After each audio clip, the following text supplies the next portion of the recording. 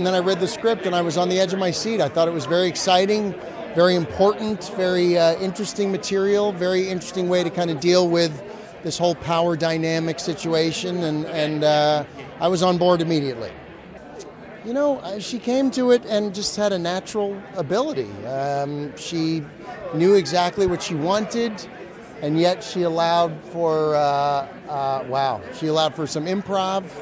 And uh, we gave her, you know, our mission, I think, while we were making was just to give her everything that we could in order to help tell the story and uh, make it as, as good as possible. And then she took it and made it this uh, really scary, very exciting movie. I wish you guys could see what you know, like the behind the scenes stuff, you know, because we had a really good time. One of the really cool things is that we were all in the same location, so we were kind of in our own little bubble, and we all had to have dinners together. Obviously, Haley and I shared a brain together,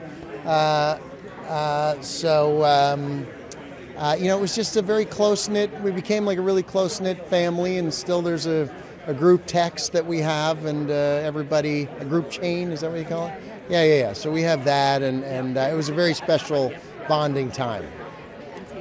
Certainly, I mean, it is a story uh, about the abuse of power and uh, how corrupting that is, and and uh, you know, people being isolated and in a very scary situation, and how do you survive that? Um, you know, but at the end of the day, of course, we want it to be entertaining and for people to be on the edge of their seat, and I think, I think they are. I certainly was when I was watching it.